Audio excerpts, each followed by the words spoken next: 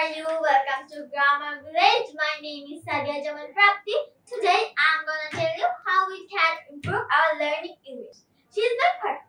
Hi friends, my name is Samia Jamal Putnashan. Let's start our conversation. Hi friend, how are you? Fine, and you? I'm fine. I'm looking for you. Why? Can you tell me what is the importance to learn English? Yes, why not? You know English is an international language. English way, there is a massive use of English language all over the world. Okay, what are the opportunities to learn English? There are lots of opportunities to learn English. You can communicate with obsessed people, good job opportunities, opportunities for higher education, mm, scholarship facilities, etc.